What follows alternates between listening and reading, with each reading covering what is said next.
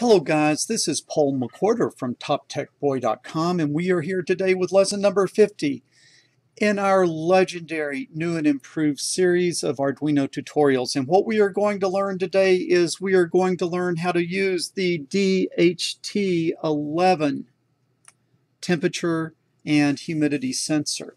And I'm going to give you guys a heads up. This is a pretty easy sensor to use, but I am using this series of videos it's going to be kind of a series of videos on this DHT11.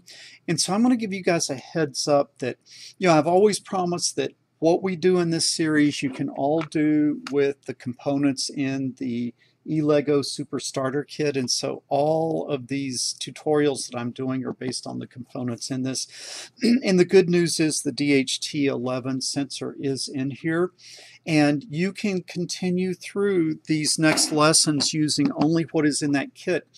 But I'm going to give you a heads up of kind of where we're going. We're trying to untether from the desktop computer where we can start developing a little system that we could walk around with. Well, what are we going to need to do if we're going to be able to walk around with this? We're going to need to be able to power the Arduino not plugged into the computer and we're going to need to be able to have some sort of standalone display on the board and then we're going to need to be able to get everything hooked up. Now you will be able to do this with the sensor I mean with the Arduino, the sensor and the components that came in the kit.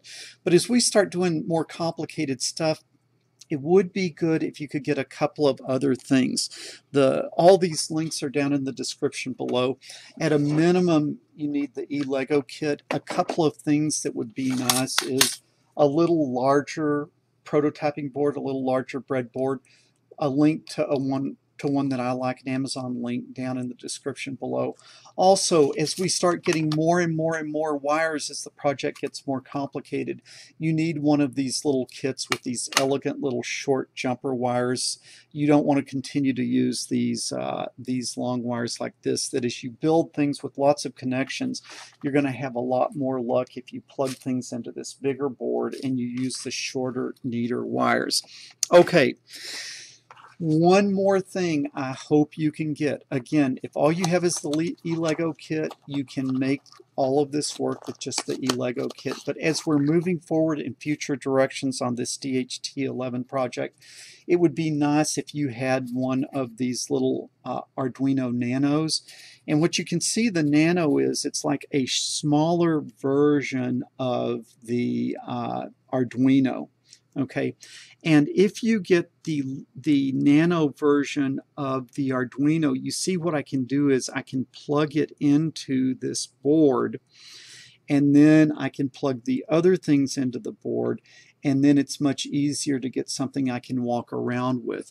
Now if you're running jumpers from the normal Arduino Uno over to your board and you're just using these types of wires. As you walk around probably you're going to have things shaking loose. So if all you have is the Elegoo great. But if you want to really completely do things right you want to get one of these Arduino Nanos and you want to get the uh, larger breadboard and you want to get the more elegant wires. What I will do is all this stuff that I'm giving you a heads up on for future lessons you can find in the links down below. And don't hate me because I tell you what you need, all right? A lot of times I get a lot of hate over that. But, okay, enough of an introduction. Let's go ahead and move forward in getting this thing hooked up. Half the battle on uh, this particular project is getting the library installed. All the things that we've done so far in these tutorials, the libraries are already included with the standard download of the Arduino IDE. So all you got to do is do this uh, pound include in your code. You don't have to actually go install the library. Well, for the DHT11, this will be the first time that you actually have to install a library. And so that means you will get to learn something. You will learn something today. Okay, so let's see. First thing we need to do is get the library. And I need to go to a better view here. All right, I think you can see that.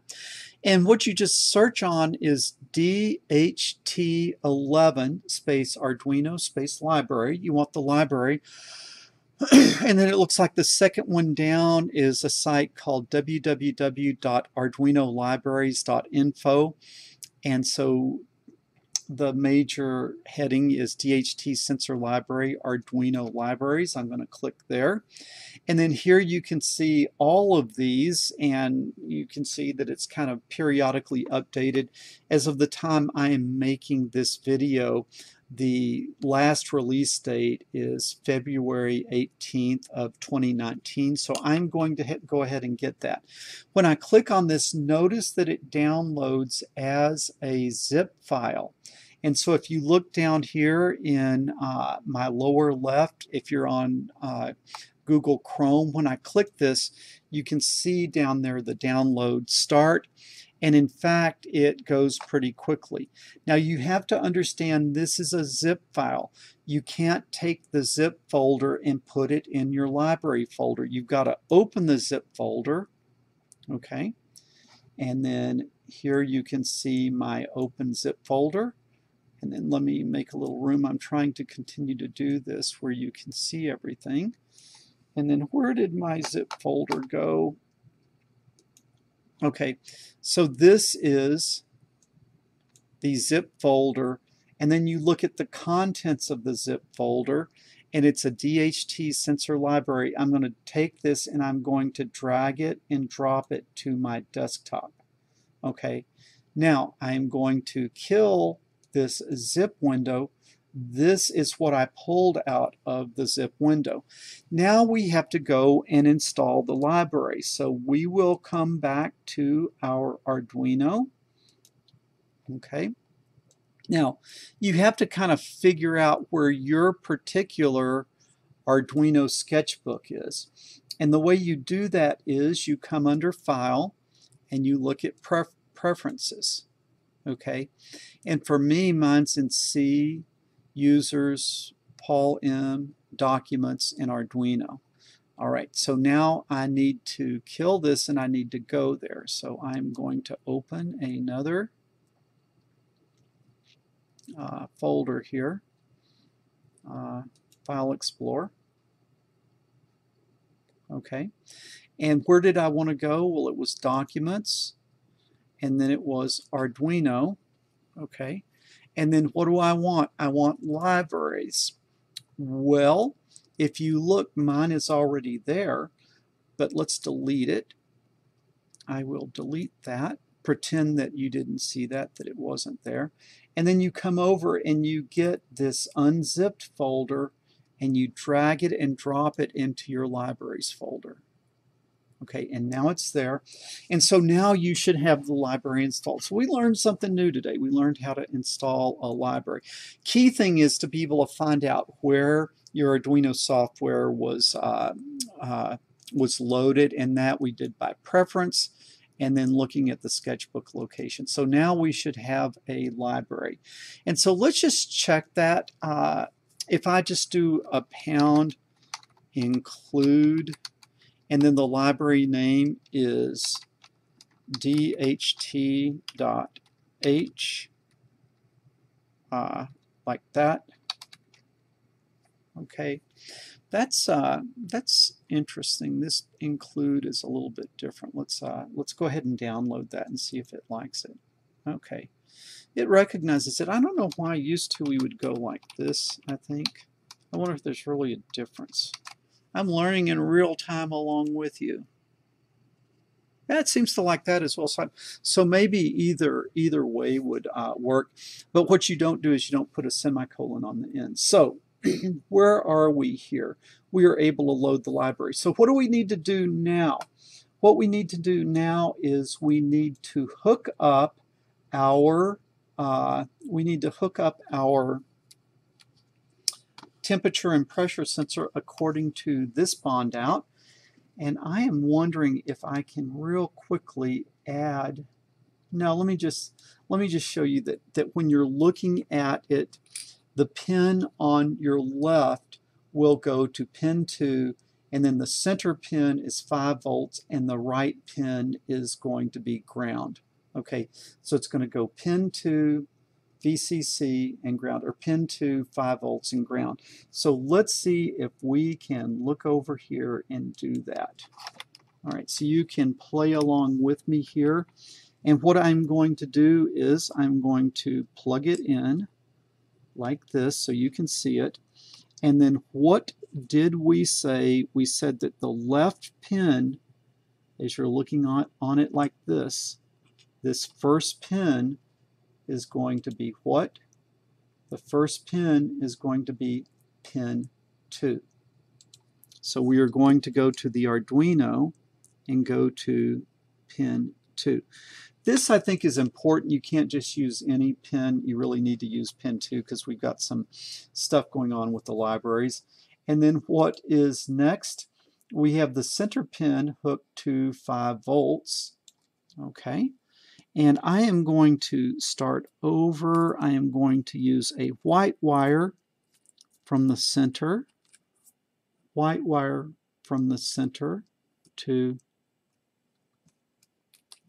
uh, okay, left goes to pin 2. There's a reason that I'm so confused today. Left Okay, do you see that? The left of the three pins, there's three pins. The left one goes to pin 2. What I got off on is I like to use a red wire, which is the center one, which is going to go to the 5 volts on the Arduino. So right, 5 volts on the Arduino goes to the center, and then that leaves the ground pin, and uh, looking for a black ground pin wire that is long enough. I don't, so I'll use a blue one. Okay, so the right pin, the rightmost pin, okay, blue, is going to go to GND. All right.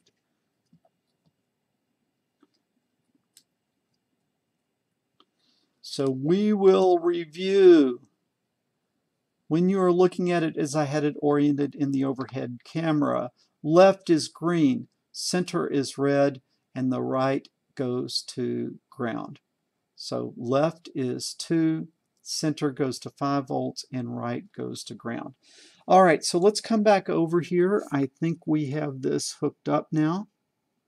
Looks nice. Now what we have to do is we've got to start writing some code.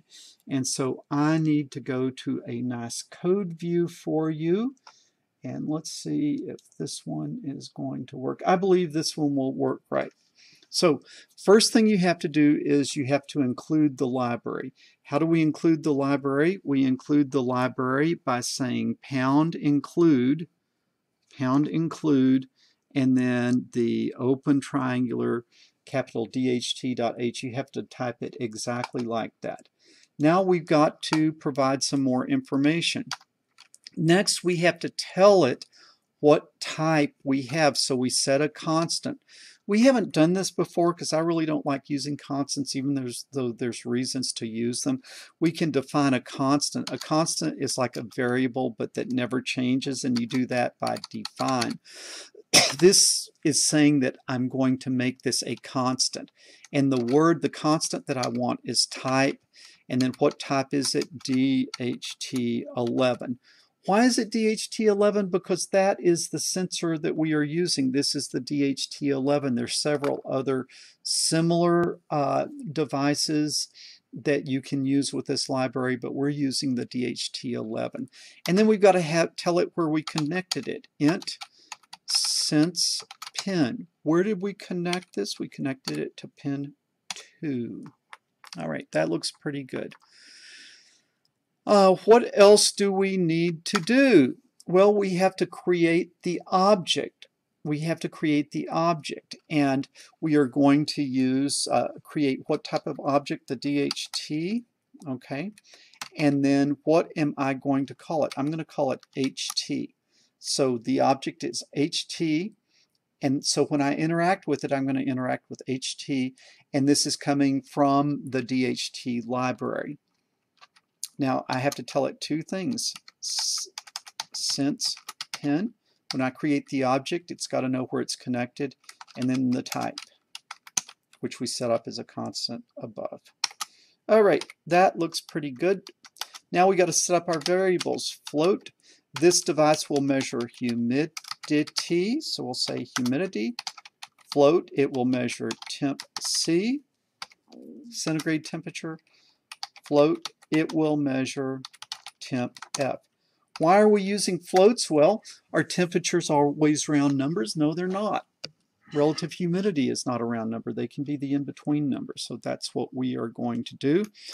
Then we come down to our void setup. We always need to start, almost always start the serial monitor, serial.begin, 9600. okay, uh, ht.begin.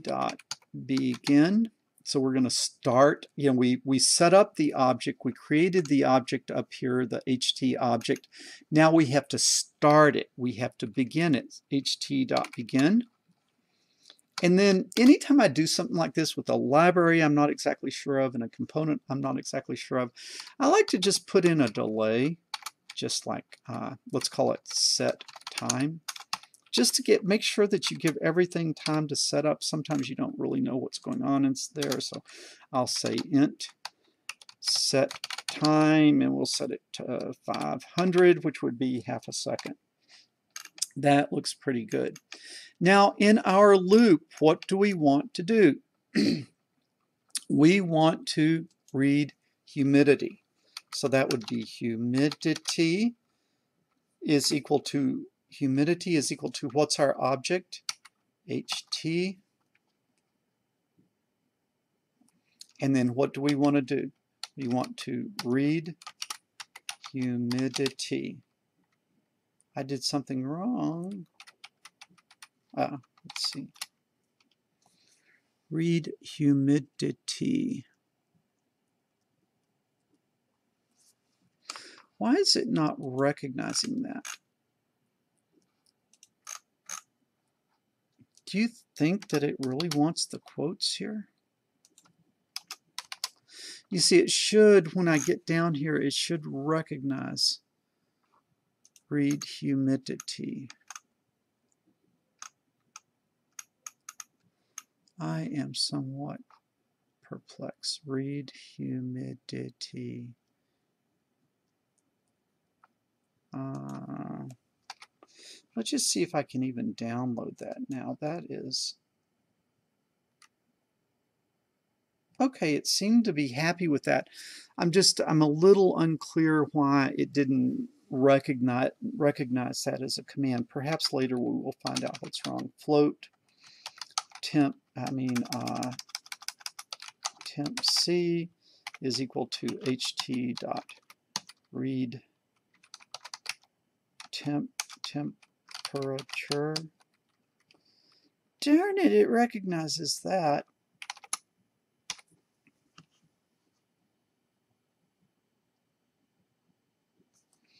Okay, let's go temp F is equal to ht dot read temperature and this you say true. True what? True that you want to read in uh, Fahrenheit. So this really is kind of crazy. I would have thought, you know, the parameter would have been F and the other one C, or the other one should have been false, but this is just the way it works.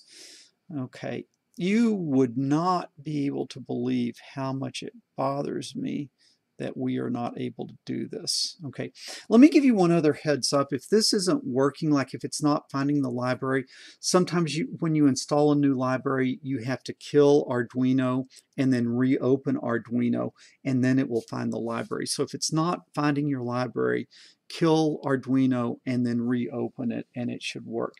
Okay, this is just perplexing me why it's not finding read humidity unless I am in some crazy way not spelling that right, which has been known to happen. Okay, so now let's uh, let's do some prints here. We are going to say uh, serial.print, and what am I going to print? I am going to print uh, humidity. This is a string. So this is just going to be a label and serial dot print. And then I'm going to print what I read as humidity. And then I'm going to put my semicolons in. Better late than never on that serial dot print. Now I'm going to print uh, and I'll put a space there temperature C. Space put good spaces in there so that this looks good when it prints out and then serial dot print. And then this is temp C better late than never on a semicolon. And print does start with a P. Serial dot print uh, space C space and then serial dot print and then temp F temp F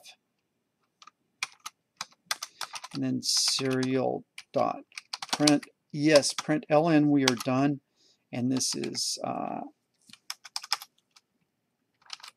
space F space.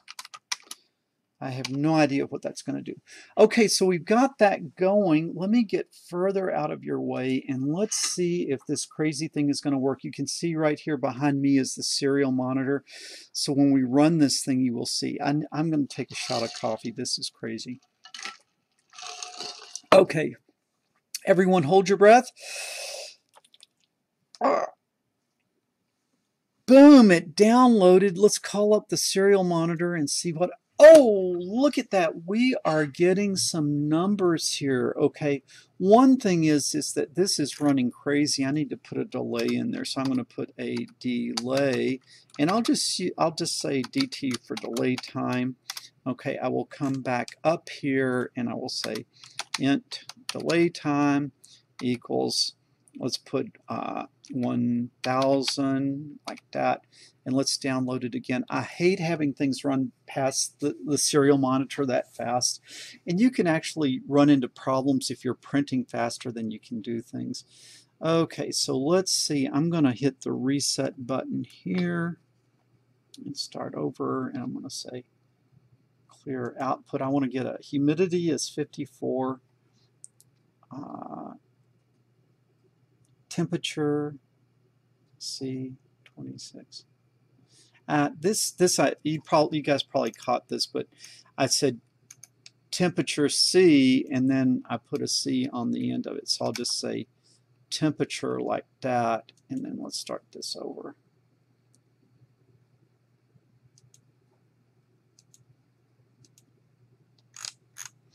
Okay, humidity is 53, temperature is 26C and 79F. Boom! Man, we got this thing working. Look at that. Temperature, pressure on the serial monitor. Very good. Very, very, very good. Most excellent. Most excellent. So you see, this sensor is pretty easy to use. The thing that you've just got to do is you've got to install the library. That's the main thing. And you've got to be careful when you install that library, right? You open the zip, you drag the folder out of the zip onto your desktop, you get rid of the zip folder, and then you drag it into that library folder. And to do that into the library folder, you got to know where your sketchbook is, and you do that by looking at preferences. And if you do that, then you can do everything. Let's see if this actually works. Like, let me let me blow on it and see if I can get the temperature to go up. Well, if I blow on it, really the temperature and the, uh, the temperature and the humidity should go up. Look at that. Humidity did go up. And let's see, temperature didn't change much. Yeah, temperature went up a little bit, but man, oh yeah, temperature went up and the humidity really went up. Now the question is, after breathing on it, do you have a little bit of a condensation thing? Like, is it going to take a second for the humidity to go back down? My feeling is probably yes, because if you actually blow on something, the humidity can take a little while to go back down. But what we can clearly see is we can see that the temperature, uh, the temperature in F and the uh, and the uh, temperature in C are going uh, are going down, and so we can see that kind of interesting that you know perhaps when you blow on it like that, okay, the humidity is now starting to come down, and so that's good, starting to drop pretty good now. But you can imagine that just your breath on there, if it if if the condensation was on there, it would take a little while for that to to come off, and so. That is pretty exciting. That is pretty exciting so this has been, uh, my goodness, what lesson is this? This is like lesson number, uh, lesson number 50. And so I need to give you an assignment for lesson number 51. What is our goal here? Our goal is to become mobile, to become untethered. And so if we are going to become untethered, one of the first things that you're going to have to do is you are going to have to put an LCD display on there. And so your assignment for number 50 is to hook this up with an LCD display. And the LCD display just uh, do humidity and temperature F like on the first line you can do humidity and then on the second line you can use uh, temperature F. And then also I will tell you guys that as I'm trying to get ready to be going mobile, next week I'm going to be doing this with the Nano. Now you don't have to do it with the Nano. Uh, you can do it with the Elegoo. But this is kind of like what I'm going to be doing. I am going to be trying to get this on here like this, and then this here like this, okay, and then the sensor there. And then you see how neatly I'm going to try to wire between the Arduino Nano and the LCD with the sensor there. Also remember with this LCD display you're going to have to have the potentiometer and so you are going to I think we're quickly going to be hitting the limits of what all we can hook to the to this board hence my desire for you to get the uh, larger PC board in the at the link below. Okay, so at a minimum in lesson number 50, I want you to have the Arduino, the LCD, and the sensor hooked up and then displaying your results to the uh, to the LCD. And if you are able to get your hands on a Nano so you can have a little bit more sturdy connection, because you see the problem is going to be if you're moving this around and something comes loose, then you're going to start getting uh, you're going to start getting bad data. And so we're going to try to go to those neater circuit builds. Okay, this has been Paul McWhorter from TopTechBoy.com.